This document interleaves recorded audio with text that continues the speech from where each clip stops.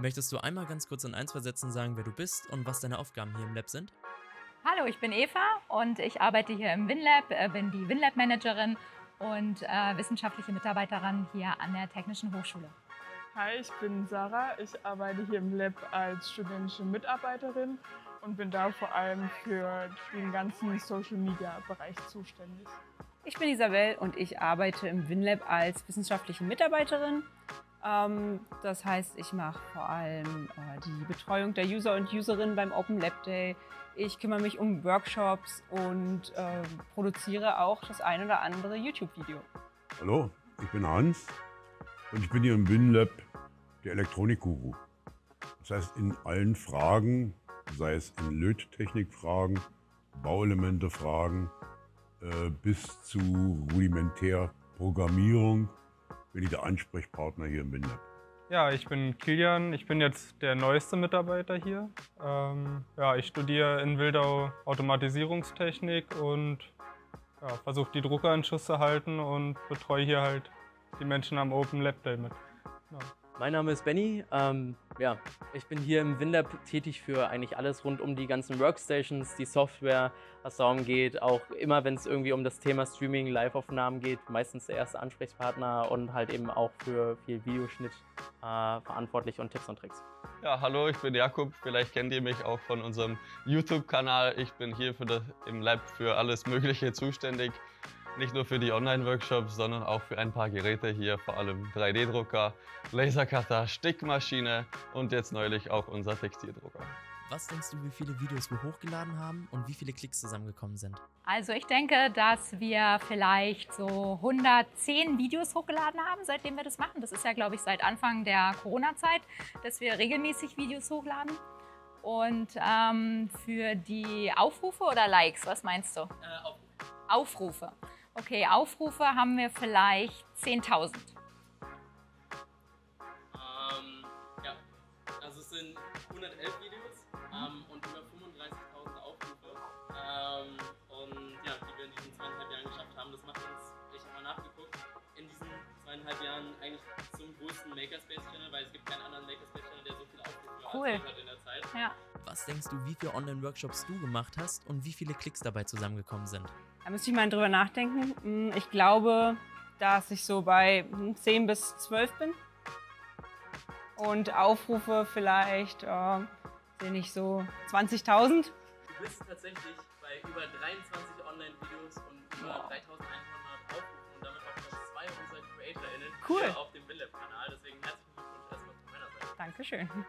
Das ist eine sehr gute Frage. Ich würde mal schätzen so 15. 10 bis 15. Und Klicks? Gar keine Vorstellung. Ich sag mal 300. okay. ähm, also, äh, ich habe halt alle Videos zusammengenommen. Über 29. Du also die nächsten 30 Videos. Und äh, du bist bei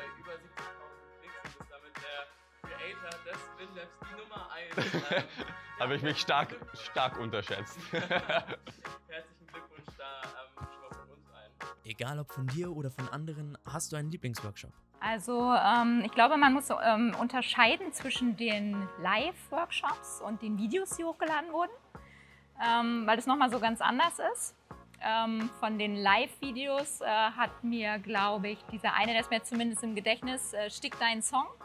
Den fand ich cool, also inhaltlich auch cool und ähm, gab auch ganz gute Resonanz darüber. Und man sieht hier auch äh, einen Code davon aus dem Video, also schaut euch das Video an.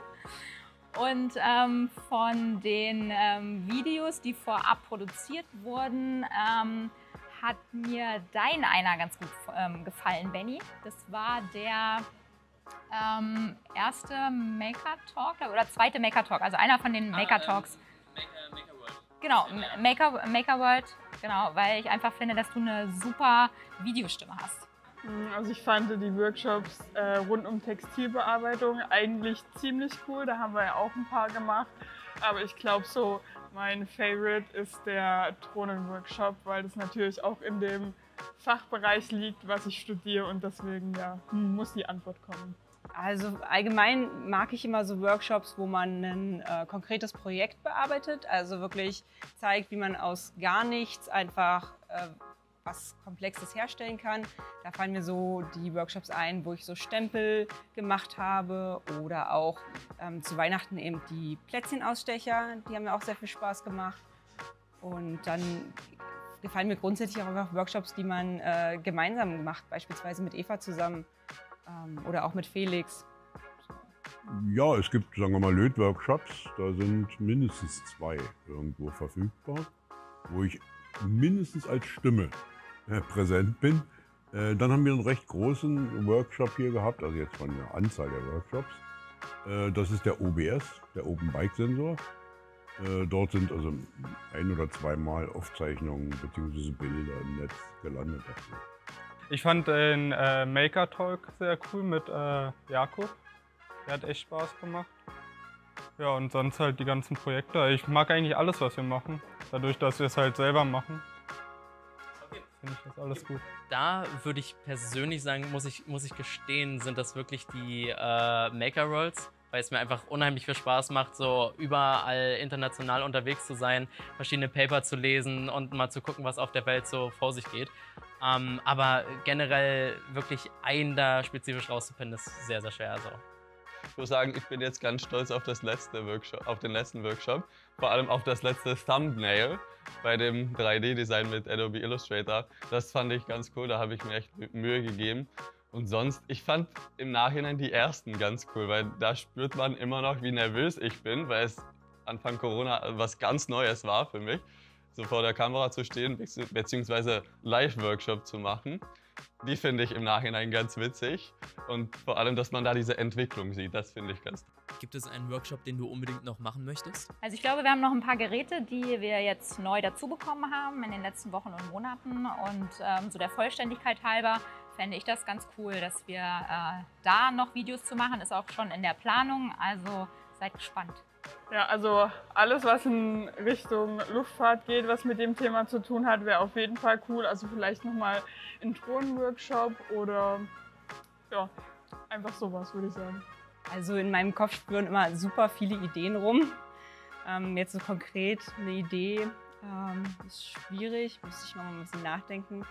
Was ich auf jeden Fall halt mal machen möchte, ob es nun als Workshop sein wird oder nicht, ist ein Gesellschaftsspiel entwickeln. Also, weiß ich nicht, so eine neue Form von Mensch ärger dich nicht oder so, wo man einfach ein komplexes ähm, Spielbrett dann entwickelt mit kleinen Spielfiguren, vielleicht auch so einem 3D-Drucker oder Lasercutter. Ähm, das wäre mal so ein Traum von mir. Meine Zielvorstellung besteht darin, wir haben ja auch Messtechnik hier, dass ich einen Workshop mache für den, die Nutzung unserer vorhandenen Messtechnik damit jeder diese effektiv nutzen kann. Auch wenn ich mal nicht da bin. Na, wir sind ja gerade dran an der Umsetzung. Also ich fand es halt immer schade mit der Fräse, dass sie stand. Und da kommt ja jetzt bald das Video zu. Da ist Betrieb hinter. Ja, nee, sonst erstmal vielleicht noch ein Metall-3D-Drucker, aber das, das dauert noch. Das ist eine gute Frage. Äh, das, ist, das ist sehr, sehr schwierig. Mit der habe ich mich jetzt auch gar nicht weiter auseinandergesetzt, obwohl ich die Fragen eigentlich geschrieben habe. Ähm, an sich so ein Workshop, den ich richtig gerne mal machen würde. Ich weiß nicht, ich glaube, das ist aber ein sehr großes Projekt, dadurch, dass mir immer sehr viel Spaß macht, auf diesen ganzen Veranstaltungen zu sein und dort halt einen Workshop zu machen. Vielleicht auch sowas mal international zu machen und mal ein, zwei Makerspaces äh, halt eben, so wie Jakob das in seinen Interviews macht, mal mit zu interviewen. Sowas Es gibt immer genug Ideen und ich schlage das auch immer vor, wenn mir was einfällt.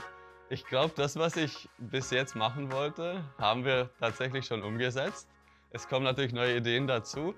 Was ich jetzt ganz gerne machen würde, jetzt in der Zukunft, viel mehr on, nicht online, sondern vor Ort Workshops machen. Darauf freue ich mich total und das ist jetzt auch geplant nach der Sommerpause, dass wir dann auch viele vor Ort Workshops machen. Vor allem Beat Saber Turnier, auf das freue ich mich besonders. Gibt es irgendwas, was du den über 500 Abonnentinnen mit auf den Weg geben möchtest? Ja, sehr gerne. Ähm, ganz, ganz vielen Dank, dass ihr ähm, unseren Kanal abonniert habt, dass ihr so fleißig zuschaut und ähm, auch ähm, schöne Anregungen und Kommentare da lasst, die wir immer gerne aufgreifen und auch ähm, dann umsetzen. Und äh, ich möchte mich auch noch ganz herzlich bedanken beim ganzen WinLab-Team, weil ohne die einzelnen Mitarbeiterinnen und Mitarbeiter wäre das überhaupt nicht möglich gewesen, so einen fantastischen YouTube-Kanal auf die Beine zu stellen und vor allem am Laufen zu halten. Ja, vielen Dank, dass ihr den WinLab-Kanal abonniert habt, dass ihr immer die Videos guckt und kommentiert und ja, euch einfach das anguckt, was uns so viel Spaß macht.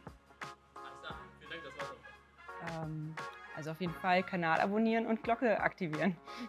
Ja, seid, habt keine Scheu. Probiert einfach alles mal aus. Und ihr werdet staunen, was ihr eigentlich alles könnt. Was ihr euch nicht zutraut zu Anfang und dann zum Schluss könnt. Ja, kommt gerne vorbei. Ähm, Wäre auch schön, mal hier alle kennenzulernen. Ja, das ist halt. Wir haben jetzt wieder offen mittwochs. Das ist halt immer schön hier, was mit den Menschen noch zu machen. Sonst abonnieren ist immer gut. Von meiner Seite aus äh, gibt es eigentlich auch nicht wirklich viel mehr zu sagen, außer vielen, vielen Dank für das Klicken der Videos. Ähm, ja, aktiviert die Glocke, lasst ein Abo da, wenn es euch gefällt. Wenn es euch nicht gefällt, aber auch wichtig unten drunter schreiben, warum es euch nicht gefällt. So, das hilft uns weiter. Genau. Und ja, vielen Dank. Ja, ich würde sagen, vielen Dank, dass ihr das mit uns bis jetzt so ausgehalten habt. Und danke, dass ihr zuschaut. Wir werden weiter gerne für euch neue Videos bringen. Und ja, ich hoffe, dass euch weiterhin unsere Workshops gefallen. Na dann. Und go, go. Wir gratulieren zur Neueröffnung und wir gratulieren zur Neu Herzlich willkommen zu unserem neuen Workshop zum Thema Schneideplatte. Und dieser unterscheidet sich in vielen Sachen von. Nicht in vielen Sachen, so vielen unterscheidet er. Filme ich mich, wie ich Schokolade esse und du guckst.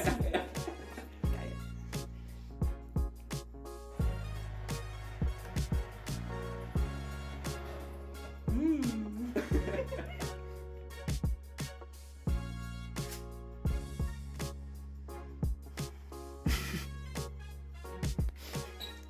Hm, schmeckt?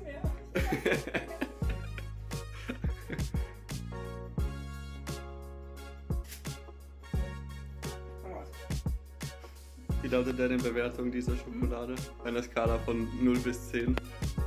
Elf. Also die Form macht halt weg, ne? Also egal wie schlecht die Schokolade wäre, die Form ist halt super. Danke für, für deine Bewertung.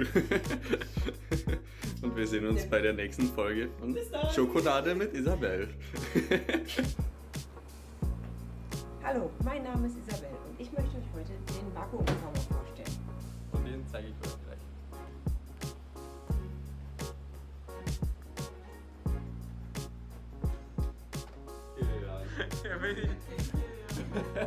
Hallo und herzlich willkommen zum heutigen Workshop. Und heute geht es um das Thema Markforged, also unser Carbondrucker. Sarah?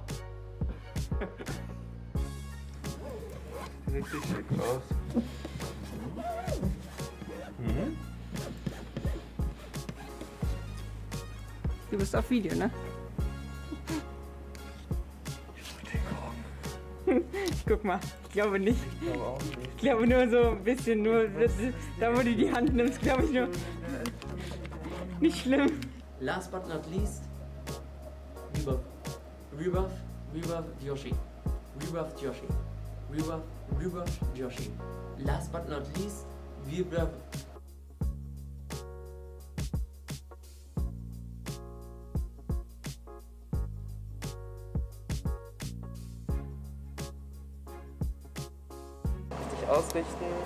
Okay, ich. Achso, Isa ist jetzt noch da. Isabel ist wieder in Ach Mann, ey, einmal wirklich. Oh das Mann. Nur falls nehmen wir Anlauf. Nur falls, wenn, weil wenn wir einmal, wenn wir einmal wollen, dann, dann, dann geht das locker. Ja, nicht, wir müssen. Das muss ich in eine andere Richtung, ey. Das ist nicht meine Schokoladenseite. So, wir hoffen, es hat euch gefallen und ähm, ihr konntet unseren. Nein, nee, ich muss nochmal anfangen, tut mir leid. Hm. Du stehst einfach da dekorativ in der Gegend rum. Mach, mal, mach dich mal locker. So, und jetzt geht's los. Ich bin Isabel, nein, ich bin nicht Isabel, ich bin Jakob, das ist Isabel und heute geht's, wie gesagt, um Stick. Okay, dann machen wir hier auch den Aufnahme.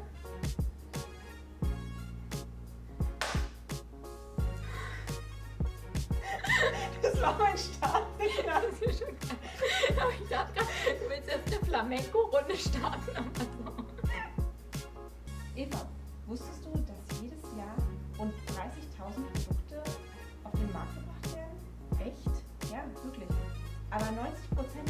entpuppen sich als Misserfolge. Trotz hoher Ausgaben für Marktanalysen und weiteres. Das ist ja Wahnsinn. Ja. Acht von zehn Innovationsprojekten scheitern. Das ist ja wirklich eine enorm hohe Zahl. Du hast die ganze Zeit richtig schön natürlich gesprochen. Das ist ja. Ja, das ist eine gute Idee. Lass uns loslegen.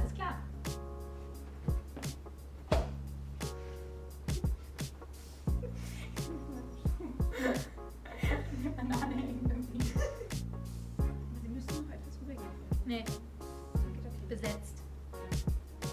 Eine Erhöhung? Diese alte Dame sich Concept Board war eine echt coole Idee. Das Erstellen der Persona war ja wirklich einfach und auch die Zusammenarbeit. Die macht Werbung, oder? Du bist doch unbezahlte Werbung. Produktplatzierung.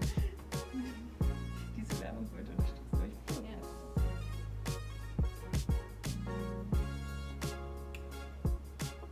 Erstellen der Persona war ja richtig einfach und auch die Zusammenarbeit im Team hat super geklappt. Danke für die. Wir sind drüber. Ich, ich lasse Concept Board einfach weg, weil das ist ja das deswegen, Tool wir wollen nicht Concept genau, das Tool vorstellen, hat sondern gut wollen ja. funktioniert, das digitale Arbeiten. Ja. Ja. Das Erstellen der Persona hat ja richtig leicht geklappt. Aber Wie leicht geklappt. Richtig gut geklappt, oder war richtig der war leicht? richtig leicht. Die hat gut geklappt. Hat gut geklappt. Das Erstellen der Persona hat ja richtig gut geklappt. Ähm, und auch die Zusammenarbeit, Zusammenarbeit im Team war super. Ja, ich fand auch. Also das ist ein sehr schönes Tool und äh, das werden wir auf jeden Fall auch weiterhin benutzen. Und unsere Persona, die wir jetzt erstellt haben, die nehmen wir dann auch gleich mit in unser nächstes Video. Raus. Raus. Ole. Chakalaka. Welche Ideen haben wir so? Okay, wir sehen uns. Augusta.